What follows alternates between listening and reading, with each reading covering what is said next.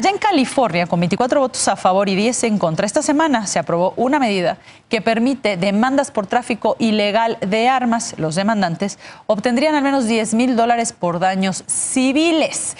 El debate de la aportación de armas, los permisos para compras de armas, cuáles son los condicionantes que deberían establecerse para que un estadounidense promedio pudiera eh, adquirir un arma, eh, pues ha salido nuevamente, se ha puesto solamente, nuevamente sobre la mesa, poniendo a muchos legisladores patrocinados en gran medida por la Asociación Nacional del Rifle, pues en una situación muy complicada y me da mucho gusto saludar a mi compañero Ariel Mouzazos, eh, corresponsal de Noticias Televisa y Foro TV, justamente allá en Washington, pues para platicar un poquitito más sobre este tema. Mi querido Ariel, Estados Unidos es un país donde hay más armas que gente.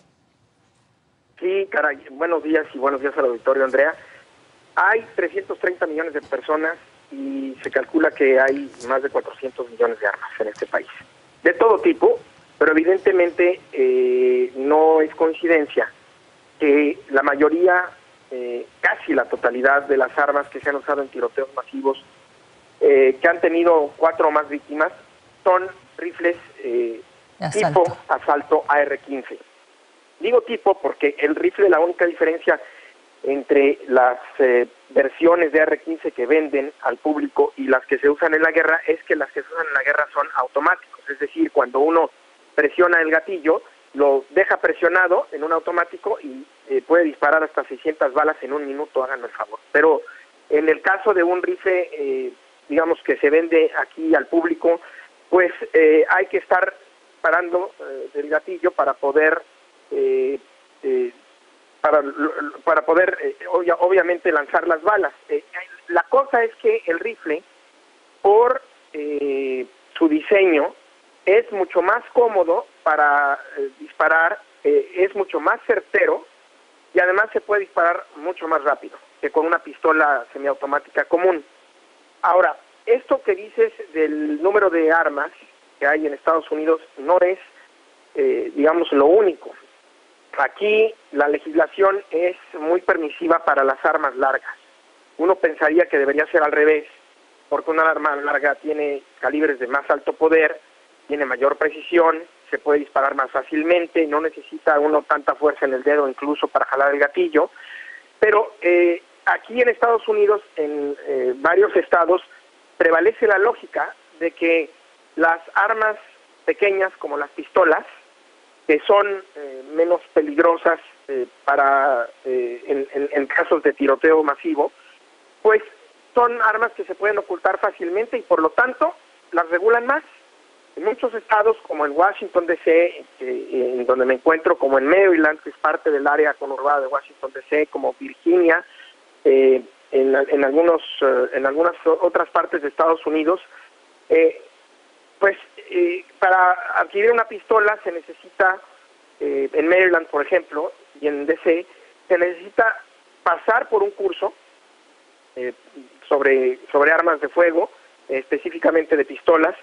Eh, en Maryland, por ejemplo, se necesita esperar 15 días para que se te enfríe la cabeza, le llaman, el cool down period, para que se te enfríe, enfríe la cabeza por si quieres comprar el arma para ir y matar a alguien eh, no puedes, tienes que comprarla y esperar 15 días para que te la entreguen. Y además necesitan hacer todo, todo un chequeo. Eso es en Maryland y en, y en Washington DC. Pero si en Maryland o en Washington DC quieres comprar una R15, te tardas 15 días. Y lo único que necesitas es una licencia de conducir. Nosotros lo hicimos, eh, hicimos un reportaje especial para Televisa, Foro TV y, y, y hace unos meses. Y eh, entonces, esto representa un problema porque este joven de 18 años, el tirador que asesinó a estos 19 niños y dos profesoras, pues eh, pudo comprar esa arma en los mismos 15 minutos y en un estado como Texas, que es de los más permisivos de la Unión Americana. Aquí en, en DC y en, y en eh, Maryland no puedes traer un arma, no puedes portarla libremente a menos que tengas licencia y es muy, muy difícil de obtener una licencia de portación. Eh, en, en, Texas tú puedes ir a comprar una pistola, no, necesitas ningún curso, te la entregan y además puedes portarla. Ariel, te quería, te, quería preguntar... Los eh, en todos lados te dicen que no puedes entrar con armas porque es muy común. Claro, tenerla, portarla. Te quiero preguntar, Ariel, entiendo que hay una iniciativa que han empujado los demócratas, el Partido Demócrata en poder, pero que ha recibido mucha oposición eh, desde los republicanos y que tiene que ver con establecer reglas más estrictas justamente para la adquisición. Entiendo que en el corazón de esta propuesta incluso está la obligatoriedad de realizar em, análisis pues del historial de las personas antes de poder eh, autorizarlos para la compra de un arma. Así es, por desgracia eso no ha pasado. No ha pasado. No, ha, logrado los votos y, no parece que vaya a pasar en los próximos años porque en estos momentos los demócratas están teniendo problemas eh, de, tipo electoral, es decir, en el horizonte eh, lo que se ve es que si otra cosa no ocurre, los demócratas eh, van, van a perder algunos asientos en la Cámara de Representantes y probablemente van a perder la mayoría en el Senado en estas elecciones legislativas de este año.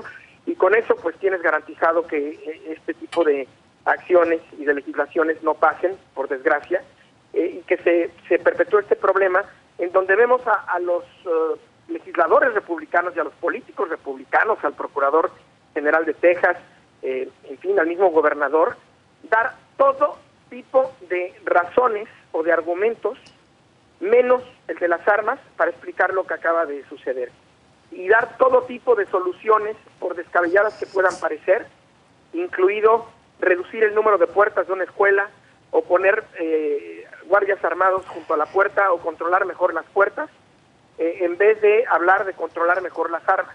Eso es algo que, como tú decías eh, al principio, pues es muy difícil de entender para quienes no nacimos y, y somos estadounidenses.